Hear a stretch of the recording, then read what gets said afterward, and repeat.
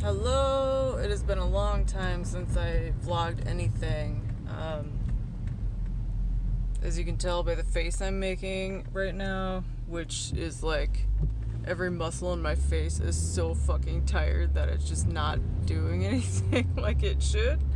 So I'm very tired today um, because I got six hours of sleep last night when I probably should have gotten more.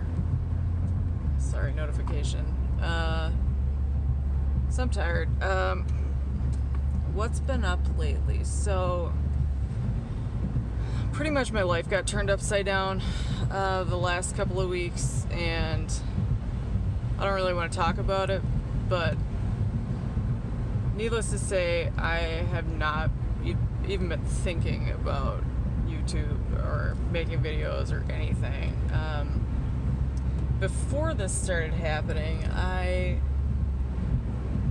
actually bought a tripod because I wanted to start filming more planner videos and getting those up on YouTube. And so I've got that now. I actually did film a planner video with it. The sucky part is that you can't really hear my voice, so I'm gonna have to do a voiceover. At this point, I might just do music because I don't remember anything about what I was doing then. Um, I've got a library tour video of the new library that they remodeled by us. It's actually just like a giant extension they put on to the old library, same place. Uh, but they did a lot with it. It's very cool. They have a silhouette machine. They also have a 3D printer. They have an entire kitchen. I'm very excited to use it. Um, one really exciting thing that just happened today is I got invited to a planner meetup in my area. And this one is actually in my area, like within a couple of zip code numbers. That's really exciting because the last one I got invited to was in Maple Grove, which is about half hour 45 minutes from here in traffic. And on a Saturday, I don't want to drive in traffic. I don't want to drive much at all on a Saturday unless I'm just chilling. Like I don't want to have to be somewhere at a specific time because I don't like being on a schedule. And I have to do it for certain things, but I'm not going to choose to do it because I don't like people telling me what to do.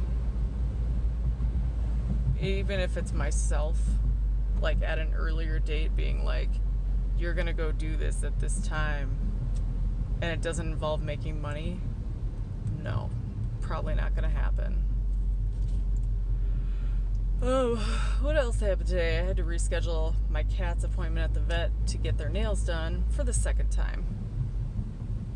Because two Tuesdays in a row, I have thought it would have been possible to work a half day at home and go get my cat's nails done at 2:15 in the freaking afternoon. What is wrong with me? Why do we think this is going to ever happen? It's not going to happen. I need to just stop. I actually said this to myself this morning Stop doing that to yourself.